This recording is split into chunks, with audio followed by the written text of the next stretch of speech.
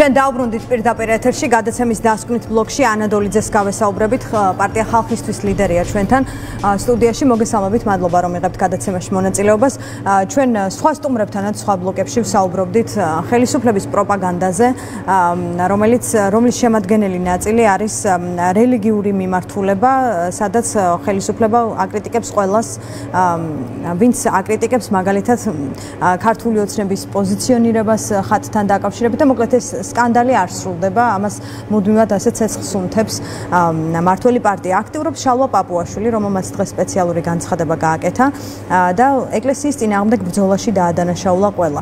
მე მინდა კითხოთ, ზოგადად თუ კი ჩავთვლით, რომ ეს მათი პროპაგანდის ნაწილია, როგორ შეიძლება ის იყოს წარმატებული, როცა მაგალითად ამ ხატის სკანდალმა აღაშფოთა მათ შორის ხელისუფლების ამომრჩეველთა დიდი ნაწილი სავარაუდოდ და მათ დაინახეს, რომ სტალინის გამოსახულებიანი ხატი მათ ამომრჩეველსაც აწუხებს. აი როგორ გამოვა ეს პროპაგანდა, როგორ გამოვა ეს პროპაგანდა ხელისუფლებას. მოგესალმებით, დიდი მადლობა ამ შესაძლებლობისთვის. ქართულ ოცნებას არაინტერესებს არანაირი ქართული პროდუქტის წარმოება. გარდა პროპაგანდისა, აი ესე დავასკვენი მე. ერთადერთი პროდუქტი, რის წარმოებაზეც ის დარდობს, არის პროპაგანდა. თქვენ ვერ მეტყვით მე რაიმე პროდუქტს, რასაც ის რის წარმოებასაც დამზადებულია საქართველოს აუცილებელია ჩვენი ეკონომიკური განვითარებისთვის.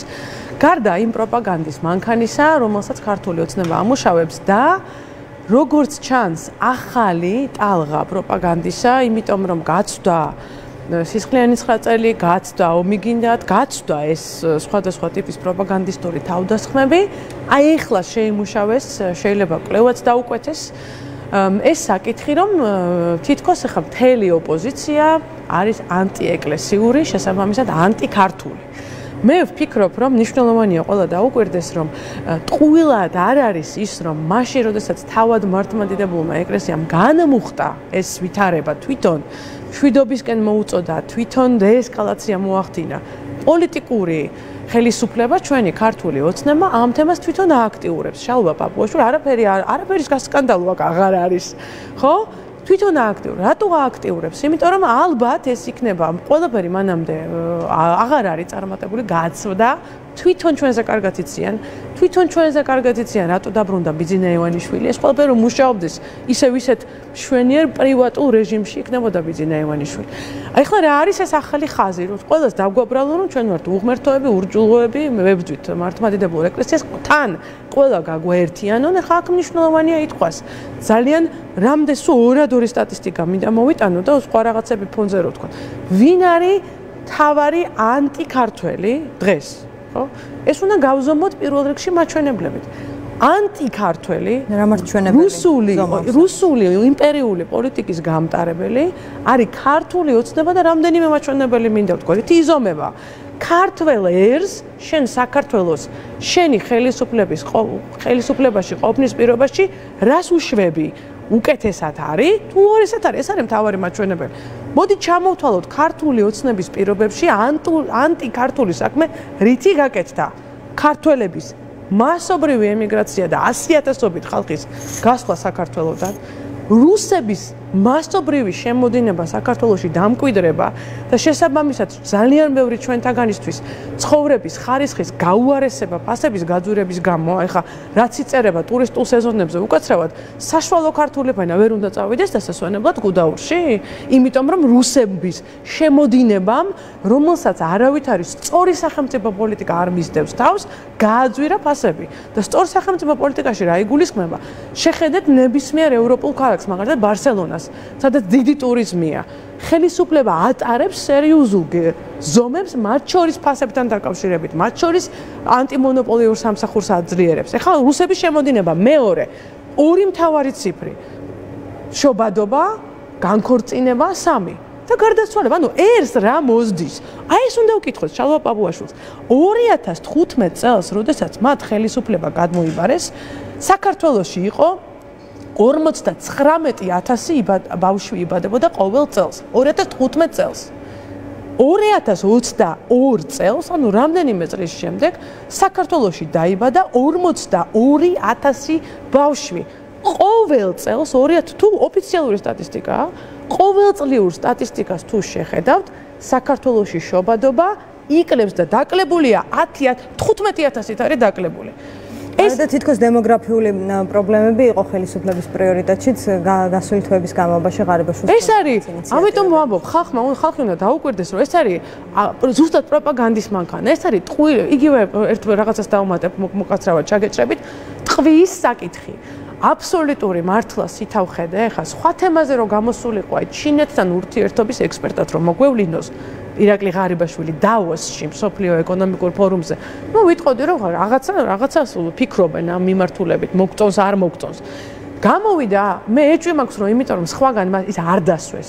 მიიწვიეს ამ პანელზე რომ სისხლში ტყვის ტყვის საკითხი. და ხა მე მინდა გითხრათ 2019 წლის მონაცემები არის UNICEF-ის გაეროს ბავშვთა ფონდის საქართველოში 5-დან 7 წლამდე ბავშვების 41%-ს აქვს დასაშვებ ნორმაზე მაღალი შემცველობა ტყვიაში. ეს არის ოფიციალური სტატისტიკა. ამის მერე მთელი რიგი ღონისძიებები უნდა შეემუშავებინა ხელისუფლებას. და ყველას მინდა ვისაც სჯერა რომ აი ღარიბაშვილის დაპირება რომ ბინას გაჩუქებთ, იმას გაჩუქებთ. ერთი წამი შეხედეთ რა მოვიდა იმ корпуს ფოთში რომელიც იყო ტყუის საღებავით შეღებილი და სადაც 3 წლის წინ ღარიბაშვილი პირადად ჩავიდა დაპირდა, რომ თქვენ აქედან გადახვალთო, იმიტომ რომ რა არის იცით? ყველა მშობლისთვის საყურადღებო ტყვია სისხლში არის ძალიან სერიოზული ჯანმრთელობისთვის დამაზიანებელი განვითარების თვალსაზრისით. აი თქვენ ახლა საუბრობთ მართლაც უამრავი პრობლემაა, რაც შეიძლება მათ შორის მედიის ყურადღების მიღმაც აღმოჩნდეს იმის გამო, რომ ხელისუფლება ყველა რესურსს ხარჯავს, რომ რაღაც მთავარ თემებად აქციო სისტემები, რომელიც მას აწყობს და შეიძლება ოპოზიციის მხრიდან დღის წესრიგის არარსებობა ამაში უწყობდეს კიდეც ხელს, იმიტომ რომ ყვება ხოლმე ოპოზიცია ამ ამ დღის წესრიგს. წესრიგს სამწუხაროდ. თუმცა მართო პარტიას ანუ რელიგიის საკითხი ახლა არჩეული აქვს საარჩევნო კამპანიის ერთ-ერთ მიმართულებად, ასე ფიქრობთ? ანუ თუ კი სტალინის გამოსახულებიანი ხატი აწუხებს ქართული ოცნების ამომრჩეველსაც, ოპოზიციის ნაწილი ცდილობს დისტანცირებას ამ თემისგან და დღეს ხელისუფლება გვეუბნება, რომ ოპოზიცია ესხმის თავს ეკლესიას, ანუ ლოგიკა სად არის? ანუ რა რა როგორ გავა ფონს ასე ამ ამ პროპაგანდით მართველი პარტია? კი, ეს პროპაგანდის პროპაგანდით ხომ სტალინის სურათს იცავს უკაცრავად. მატრონას ხაც. დიახ. აა პროპაგანდის არსი სწორედ ის არის, რომ ყველა მიუხედავად იმისა, რომ მაგალითად ახლა ჩვენ გვაქვს ძალიან მკვეთრი ასროს სხვადასხვაობა და ბევრად მეტი კრიტიკა იგივე ნაციონალური მოძრაობის მიმართ, ვიდრე ქართული ოცნების ნებისმიერ სახეს, რომელიც ნაციონალური მოძრაობის ხელისუფლების დროს ფანტასტიკურ და ძალიან კომფორტულ ვითარებაში იყო, მიუხედავად ამისა პროპაგანდა ეცრება, რომ ყველა ერთ ქვაბში გაგვერთიანოს. ვისაც და დაარქვას ამას ახლა რაღაცა ხო უნდა მოგვიფიქრონ აბა სხვას ну ახლა მაგალითად მე ვერ მომიფიქრეს სხვა ვერაფერი. ანუ კორუმპირებული ჩვენ არა ვარ ნეპოტიზმით, არა ვარ დაკავებული, მაჩვენებლები არაჩვეულებრივად კომპეტენციაც გვაქვს, 1000 ჯერ უკეთესად შევასრულებ იმ საქმეს, რაც ზეგენი აკეთებენ, ამიტომ რაღაცა დეзинფორმაცია, პროპაგანდა უნდა ჩართონ იმისთვის, რომ თავი გადაირჩინონ. არა მგონია რომ ამან იმუშაოს. სწორედ იმიტომ რომ სისხლიანი 9 წელი რუსეთი გინდა, თუ უკაცრავად ომი გინდა, ეს ყველაფერი ჩაფლავდა და ქართველი ხალხი უყურებს რას? წერეთლის გამზირის кейსი. აი ხა ამაზე კარგი უახლესი დახასიათებაა რა ჭირს ამ ხელისუფლებას მე არ ვიცი ანუ დღეს რო ადამიანი იქით ამ ხარეს მარცხენა სანაპიროზე გამოვიდა და რომ ყველა წერეთლის გამზირთან დაკავშირებული ყველა ქუჩა რომ დაკეტილი დაყდა, რაზეც მას წინასწარ არავინ არ შეატყობინა. ერთი წინასწარი შეტყობინების სისტემა რო ვერ მოიგონეს, რომელიც ყველა დედაქალაქშია, რომ გარე რომ გამოდიხარ, რომელი ქუჩა არის გადაკეტილი, ეს უნდა SMS-ით მოგივიდეს, ღმერთო ჩემო, ყველგან არის. ეხლა ამას როგორ გადაფარავს? ეს იგივეა, რომ ადამიანებს უთხოვთ, პური შენ არ გჭირდება, სანახაობით იცხოვრე და არ არის ეგრე. ადამიანს მით უმეტეს ჩვენი მოსახლეობის ძალიან დიდი ნაწილი უკვე გაზიარებულია ხა ჩვენ იუგოსლავიაში ხო ხო არა ვართ და იმაში საბჭოთა კავშირში ხო არა ვართ და ჩრდილოეთ კორეაში ხო არა ვართ რომ ინტერნეტ სიუსი არ იყოს და ვერ ხედავდეთ როგორ გვეკუთვნის ცხოვრება.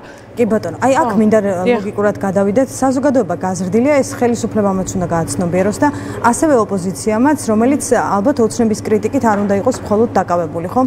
და როცა საუბრობთ საარჩევნო კამპანიის პროცესში სტრუქტურულად როგორ განაწილდებიან ოპოზიციური პარტიები პროცესი თითქოს უკვე დაწყებულია, იმიტომ რომ ახალი რაღაც პოლიტიკური სუბიექტების კონტურები ჩანს თებერვალში ველოდებით დაანონსებული ახალი პარტიის შექმნა და რაღაცნაირად საუბარი გაერთიანდებიან თუ არა თუ საერთო გაერთიანება იქნება ან რამდენიმე გაერთიანება. ანუ ოპოზიციამ ამ ყველაფერს ჭკვიანურად უნდა უპასუხოს, რომ პროპაგანდამ არ იმუშაოს, ხო? თქვენ სათხედავთ ამ პროცესში საკუთარ თავს და როლს?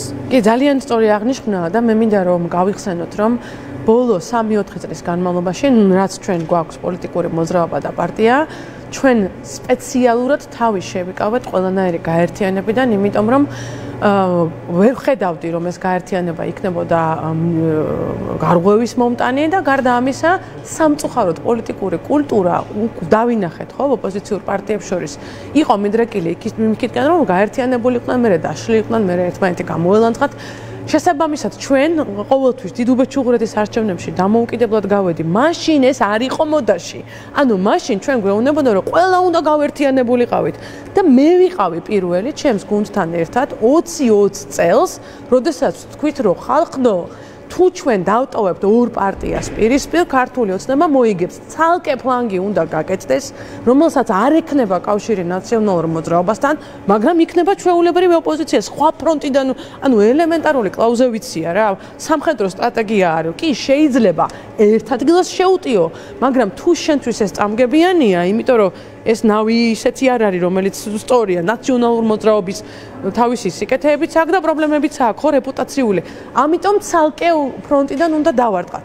ეს შემოვიტანე მე ქართულ პოლიტიკაში. მაშინ ძალიან ბევრი დებატი მომიწია, მათ შორის იმ ხალხთან, რომელიც დღეს ამას იზიარებს ამ მიმართებას.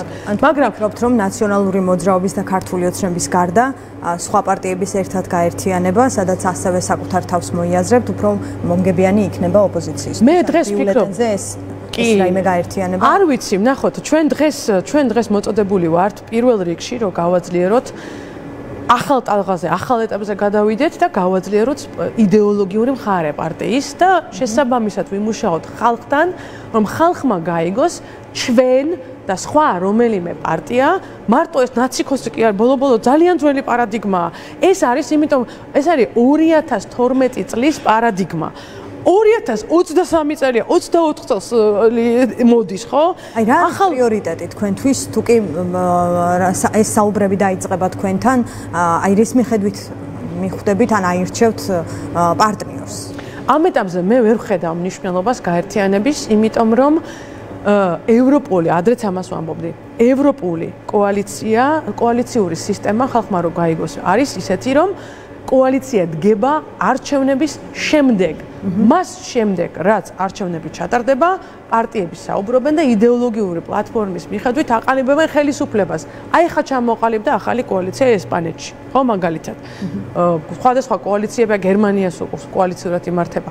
ამ ტიპის მოლაპარაკებებისთვის მას შემდეგ რაც ჩვენ ვიქნებით პარლამენტში, ჩვენი და სხვა პარტიები იქნებიან სხვა თავისივე მაჩვენებლებით და ამ ეს მაჩვენებლები იქნება რეალური.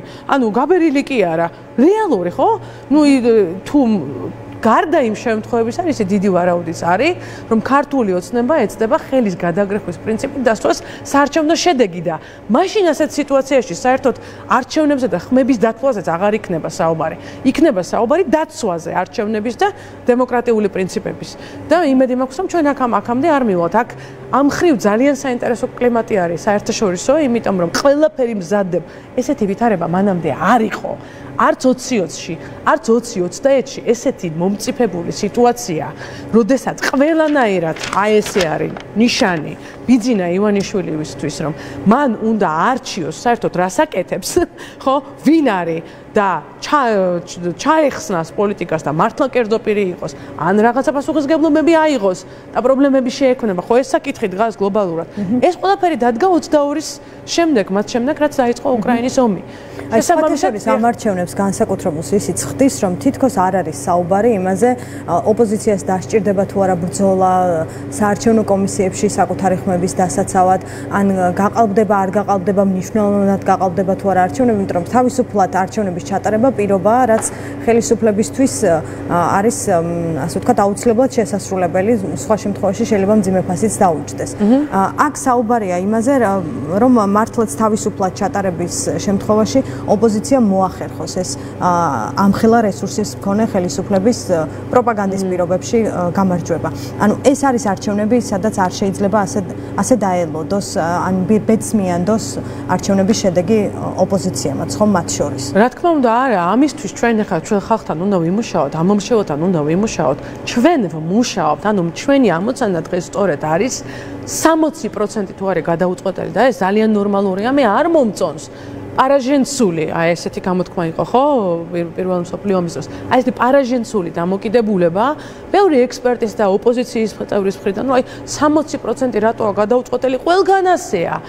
არჩევნებამდე გარკვეული პერიოდით ადრე ძალიან ბევრი ადამიანი, იმიტომ რომ დღეს, აი დღეს რამდენ მოქა 15 მოქალაქეს შევხვდი. მართლა მაშინ გაახსენდათ მათ პოლიტიკა, როდესაც დამინახეს, თორე დარწმუნებული ვარ, მათი უმეტესობა პოლიტიკაზე არ ფიქრობს, იმიტომ რომ სხვა ტიპის გამოწვევებზე ფიქრობს. თავარი რაზე ფიქრობს? ფასებზე და რო გვეკითხება გვეშველება რამე, იმას კი არ მეკითხება. კოალიციას გააკეთებ თუ არა? მეუნება მე როგორ მეშველება? და ჩვენი ამოცანა დღეს არის, რომ ვიმუშაოთ ამ ხალხთან უთხრათ, ჩვენი პარტია ხალხისთვის არის ყველასთვის. დღეს რა ხდება? დღეს არის ორი საქართველო. ქართული ოცნება კალაძე, მისი ტენდერები რატო გამოცხად? როგორ შეიძლება? ჯერ ეს ერთი, როგორ შეიძლება ყოველ ახალ წელს, ყოველ ყოველ 26 მაისს პირდაპირ შესყიდვით გამოაცხადო სერვისები? ანუ შენ რომელი კომპანიაც მოგწონს და კიდე იმას მისცე. საერთოდ ტენდერები გაუქმნა? როცა ყოველ წელს იცი 26 მაისი. მაისი რო დადგება. ნუ არ ვიცი ხა თუ თუ ვერ იმახსოვრებენ ამ კალენდარს, მაშინ რა სხვა პრობლემასთან გვაქვს საქმე. მაგრამ როდესაც წერეთის გამზირზე რა გააკეთეს? უკაცრავად ერთი კვირით ადრე არიწოდნენ რომ იქ პრობლემები შეიქმნა. თუ არიწოდე ტელევიზორს მაი, კაი, კალანძე მარიწოდა, იმიტომ რომ ხალხში არ დადის, უკვე თუ დადგმული სპექტაკლი არ არის და იმისავით არ უნდა გაიაროს, რა ქვია, მეფის ნაცვალივით მართლა. მეფის ნაცვალობაზეც მინდოდა კიდე მეთქვა, ძალიან მნიშვნელოვანია რუსებზე, ხო? თქვათ რუსული ეს ხელისუფლება რუსეთის იმპერია საქართველოსში, როდესაც ყავდა მეფის ნაცვლები, ეს ძალიან მნიშვნელოვანია. მეფის ნაცვლები ყავდა ორი ტიპის. უფრო რეპრესიული, ატარებდნენ რუსულ პოლიტიკას, გარუსების პოლიტიკას და იდგა რეპრესიას. მაგრამ იხო ასევე დღეს დავწერე ეგ ვორონცოვის სტილის რბილი მოსყიდვით, დაწინაურებით, ქართულ ელიტასთან დალაგებით, შუქებით, პრივილეგიების მიცემით. ეს ხელისუფლება რუსული, ხო ამბობენ, რატო ვართ ჩვენ რუსული? რუსული, ეს არის რუსული იმპერიული მეფის ნაცვლი. პური ხელისუფლება სწორედ ასეთი ვორონცოვის მემკვიდრეობის გაგრძელება და ეს უნდა გავაგებინოთ ჩვენ ხალხს. კი ბატონო, ანუ ჩვენ შეგვიძლია წინასწარ ვთქვათ, რომ ეს არჩევნები ამ არჩევნებში ოპოზიციას შეუძლია გამარჯვება არა მხოლოდ სტრუქტურულად როგორ გადანაწილდება და როგორ ვისთან რა საერთო ენას ნახავს, არამედ პროგრამებზე ორიენტირებით, საკუთარი საარჩევნო პროგრამებით, შეთავაზებებით შეიძლება ოპოზიციამ ფონს გავიდეს. ან ხომ იცით რომ არჩევნებზე ზოგადად პროგრამები ქართული ამოსხოლისთვის ნაკლებად ძალიან კარგი თქვა. ეგეთი скеპტიციზმი არსებობს და პროგრამა. პროგრამა კი არ არის ეს. ეს არის ფასეულობა. ადამიანი ისეთ ჯერ ეს ერთი ხო უნდა გამოვიდეს ადგეს დილას, ჩაიცვას, მოინდომოს საარჩევნო ყუთზე მოვიდეს. იქ დახვდება ვიღაცა ძველი ბიჭი ხო, აუცილებლად ეხლა ისე ხო არ იქნება. იმას უნდა წინააღმდეგობა გაუწიოს, ენთუზიაზმი უნდა კონდეს, ახლობელს უნდა დაურეკოს. გარდა ამისა, რომ დაგჭირდება, ხარში უნდა დაგვიდგეს, უნდა ჩვენც უნდა ვიბრძოლოთ, ხო? ამას აკეთებს ადამიანი ფასეულობების მიხედვით და მე მინდა ქართული მართლმადებლური ეკლესიის მაგალითი მოვყვე. ძალიან მნიშვნელოვანია.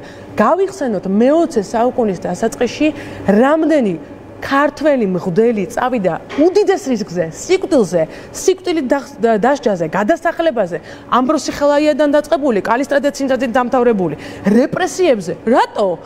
ქართული მართლმადიდებლური რელიგიის გულისთვის, არა რუსული, ქართული რელიგიის გულისთვის ავტოკეფალის ფასეულობების გამოაკეთებს ამას. ანუ პარტიებმა ჩვენ ამას ვაკეთებთ, ახლა სხვებმა რაც უნდა ის გააკეთონ.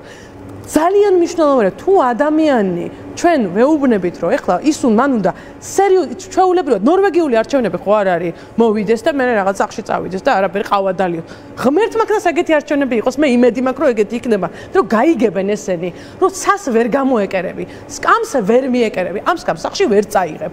უნდა დათმო ერთ დროს გააკეთო გარიგებით წასვლა ხელისუფლებიდან პოლიტიკურ მეცნიერებაში ამას ქვია, აი ეს ქვია, გაიგო რომ უნდა წახვიდე, დაელაპარაკო ოპოზიციას, შედგეს აქტი, შეთანხმება და გავიწავიდნენ. ეს შეიძლება მათ გაიგონ. ბიზნესმენებმა შეიძლება ეს გაიგოს. გარკვეული რაღაცების საფასურად. ეხლა ძალიან ბევრი ადამიანს და ბევრ მათ შორის ძალიან ავტორიტარულ ლიდერს გაუკეთებია ეს, ხო? მაგრამ მაგალითად რაღაცის სანაცვლოდ ახლა ხო, ახლა სამხრეთ აფრიკული აპარტეიდი დამთავრდა ამით. წავიდნენ სახში. ბოლო-ბოლო.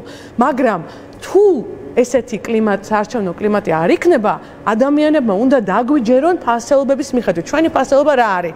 ყველა საქართველოსი, ყველა კალაძე არ უნდა იყოს მარტო კარგად, კობახიძე არ უნდა იყოს კარგად, პაპუაშვილი არ უნდა იყოს, ყველა ყველა მოქალაქე, ყველა ბავშვი, რატო უნდა ჭამდეს ყველა ბავშვი სკოლაში? რატო არის ეს კამპანია? ყველა ბავშვი უნდა ჭამდეს სკოლა, რატო? იმიტომ რომ ეხლა ბავშვები მეც რო გავიზარდე, ესე იყო. საბჭოთა, აი საბჭოთა კავშირი, ვითომ ხო ხო თანასწორობა იყო და კეთილდღეობა იყო. როგორ ბევრი ბავშვი იყო, რომელსაც არ ქონდა იმ ბულკის ფული და გამიყავი ძახოთ. კატლეტი გამიყავი. არ მიგინდა ეგეთ საქართველოს, არ მინდა. მე მინდა ჩამოვსვათ ესენი ამ ჯიპებიდან 300 მილიონი ლარი იხარჯება ყოველ წელს ავტოპარკში და თავის სკოლში. ჩამოვსვათ ჯიპებიდან, დავაფინანსოთ ყველა ბავშვის კვება სკოლაში. ეს ვართ ჩვენ და სხვა მიმუშაოს თავის ამორჩევოთ. კი ბატონო. ანუ ბოლოს გითხავთ, მოკლედ კონსულტაციები ჯერჯერობით არ მიმდინარეობს სხვა პარტიებთან იმისთვის, რომ რაღაც გაერთიანებაში. კარგი, საქმიანი მიმდინარე ურთიერთობები გვაქვს ოპოზიციურ პარტიებთან. ამის იქით არაფერი არ არ გადასტილა. კეთილი, ვნახოთ, ვნახოთ რაც უფრო მივუახლოვდებით არჩევნებს, მით უფრო მეტად გვეცოდინება, მოკლედ რაზე ჩამოყალიბდება ოპოზიციის დიდი ნაწილი. მადლობა ანადოლიძეს პარტია ხალხისთვის ლიდერი იყო ჩვენთან სტუმრად. დღის ამბები ამით დასრულებულია. თქვენ გელოდებათ ნოდარ მელაძის შაბათი, ამიტომ უნდა დარჩეთ TV პირველზე. მადლობა რომ გვიყურით.